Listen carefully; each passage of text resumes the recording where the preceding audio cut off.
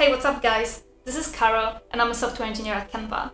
And today I'm going to tell you how I landed my first internship at Microsoft. I will run you through my whole experience from creating the CV, submitting the CV, applying, getting the first interview, the second interview, all the questions, my answers, my way of answering them, and what I think actually made me get the internship. Microsoft internship was the first one I scored from like a legit company. In the future videos, I will also talk about getting the return offer from Microsoft, how the internship actually looked like. Also about getting internship at Google, getting my full-time offer here at Canva. So make sure to subscribe if you're interested in those topics, if you want to see more of my experience and how I got those jobs and why I didn't go with any of those big companies afterwards and why I'm now working at Canva as an Android engineer. Let's go back in time. I started coding when I was around 11. At this point, I wanted to be a writer. I had those blogs for around like maybe two weeks when I started being really annoyed at the theme. You have like a set of themes you can choose from, but like I was so picky.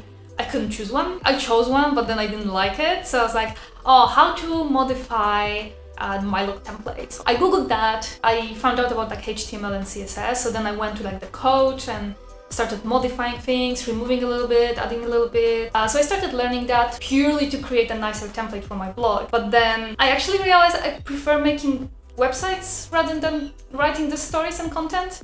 So that's what I ended up doing. And I've been doing that for a few years, freelancing a little bit. I, I sold one of my websites when I was 13 and then just like went from there. Fast forward a few years, I discovered Android development. I got my first Android phone, I was probably like 17. I was so in love with this device. This is so much better than a computer, uh, especially that my laptop back then weighed like uh, 5 kilograms. Okay, I, I love this device. I want to know how to make apps. And then I just started reading tutorials. I even got a book. Who buys books now? That was 10 years ago, so. I got a book on like how to code for Android. I started learning and I created my first app. It's called Memo Planet and you can actually still find it, not modified since then. I created this first app, I released it to Play Store, like I registered for an account and everything. I was around 18 then. And that was it. And then I went to another project. I ended up modifying this one later on when I learned about databases. Then I kept coding. I was I was mostly doing like my, my own projects for Android. Always loved making puzzles, so I would make like those puzzle websites. After high school, I applied for computer science at the University of Warsaw, which is the city I'm from, and it's in Poland,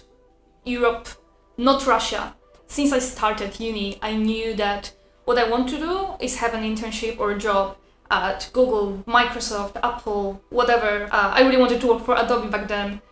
Anyway, early on I started asking all of the people at my uni that already had some internship experience about how do you do it? How do I even apply? Where do I apply? Fortunately enough, my uni held events on site where representatives from those companies like Microsoft, Google would come and actually interview us. So you just have to go on the list. They don't necessarily even look at your CV. And the interview is like super short, it's like probably 15 minutes or so. So I didn't apply for that option actually. I applied for the official Microsoft internship website. I also applied to Google at the same time. Then I had to send my CV. I, I actually already had some work experience. I mentioned this app I published to Google Play. Thanks to that app, I actually scored another job before I got the internship. It was just a part-time job. I was working like one, two days a week making Android apps for uh, for this small Polish company. It's like an outsourcing company. We're writing code for Germans. So I had some work experience. I listed all of my I listed all of my projects, side projects. My CV was fine. Unfortunately, you can't look at it because I don't have it. It wasn't anything impressive. Like you just pretty much list your education, your side projects if you don't really have much work experience. It's good if you have GitHub or like any other online repository where they actually can check your code. They probably won't anyway, but even to just like scan through and like see that you know how to use Git, it's it's a valuable thing. So I sent my CV. There was no answer for a long time. Then Google called back, and I actually had an interview with Google, which I failed, but that's another video. And then they wrote to me. They wrote back and they were like, "Oh, we are inviting you to our uh, Microsoft office in Warsaw." I remember sitting in the waiting room, and there was this guy like much older than me. He was saying how he thinks that I have much more chance to actually get this offer because I'm so fresh with the uni knowledge and like all the algorithmics and all of that stuff that Microsoft and other big companies test you with. If you don't know yet, the big companies interviews, they mostly test your like algorithmics and data structure. You don't even have to know like a specific language. You, you just write everything in pseudocode. If you are at uni and if you are passing the tests, you probably are actually passing the same questions all the big companies would ask you anyway. So at some point I got called in into the room. There was this guy called Chris, who was my interviewer for the day. We had a little bit of chat. The thing is, at that point, my English was horrible. Like, not that my English is good now, but at that point it was horrible. I, I would barely speak English. So it was a really stressful experience for me, mostly because of that. I knew that I know how to code, but I wasn't sure if I can actually express this in English. We had a little bit of a small chit chat at the beginning, which was good because it warmed me up. He asked me two questions. One of them was a technical question with writing some pseudocode uh, on a whiteboard. The second question was more of like a UX design question, but we'll get to it. So the first question was given a sentence, reverse every word in it and print it to the screen. So that's pretty much just like extracting the words, get each word, reverse it. You, you actually have to do it very low level, so you can't just say like word.reverse or whatever you would have in like modern languages with all of libraries. You actually have to write the reversing logic yourself with like the swapping the elements. And... Okay, so that was the most horrible explanation I have ever heard. So I wrote down for you guys possible solution in a pseudocode with some comments explaining why and also with some JavaScript samples. It's all in the description below, so make sure to check it out. It's a link to my GitHub. There will be more resources there soon. And let's go back to the video now. The, the thing I did and something that I think helped me a lot is that I was just talking out loud all the time. I immediately had the solution in my head, but I knew it's not the best solution. They look during those interviews, they look at performance. So you're trying to optimize your solution. The truth is, it's sometimes really hard to come up with the most optimal solution. So what you want to do is to actually say, I have a solution for this.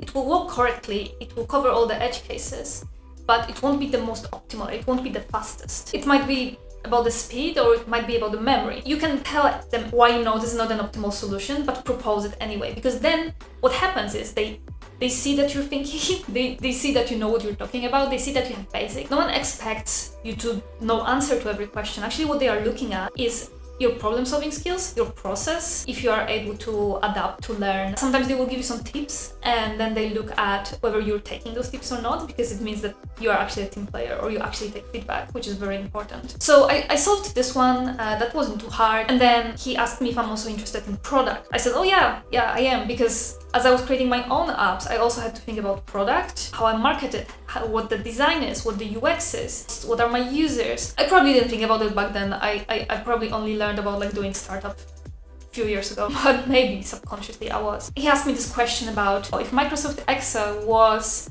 on a touch screen, how would you handle this, this, this, and this event? I had no knowledge, no education, no experience with this type of questions, but I just answered. I just said whatever I was thinking. I was like, okay, let's just go with the intuition. I proposed some solutions for it, some some different options. And that was the interview. That was like the main questions. And then we had a little bit more of a chit chat when we started talking about like my favorite tech. And then I mentioned my Android engineering experience. Of course, he started asking the questions like, oh, why Android not iOS? And then also like those were the times when uh, the Microsoft phone system was alive, so it was a really awkward thing where I had to explain why I'm not using a Microsoft phone to a Microsoft employee. He told me a little bit more about what the Android engineers are working on in, in his office, and that was it. So, around a week later, I got an answer that this stage of the interview went well, and they want to invite me to Oslo, Norway, to interview in the office. I'm not actually sure if this works this way for other continents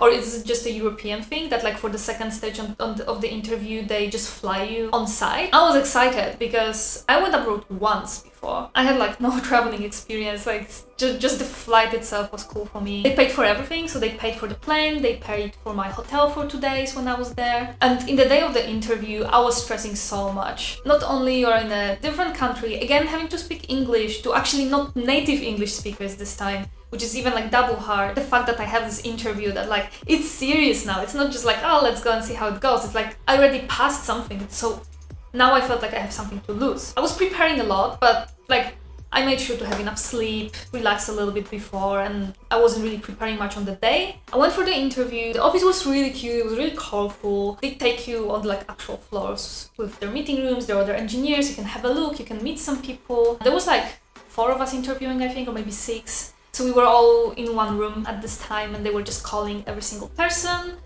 to another room and they were asking questions. The structure was that you have three or four interviews, each 50 minutes, and if the majority wants to hire you, they hire you, I guess. I don't really remember all of the questions. The only one I remember was to write all of the Fibonacci numbers. All of the questions were where you write on a whiteboard. One of them was architectural. We were just talking, but that was also the guy that was an Android engineer. So the interview from being an interview about like app architecture turned quickly into talking about the Android development and like our favorite features and everything. I actually had three interviews, not four. So I guess I guess I did well and they didn't need being convinced anymore. You don't know on the day or do you know on the day? I think you know on the day. I think they tell you straight away. I think you wait like 20 minutes and then they give you the offer straight away. So yeah, I landed the offer. So I knew that for summer I'm coming to Norway, work at Microsoft. That was honestly so exciting. I was so happy and like even the rejection from Google, I was like, ah, Google, see, someone wants me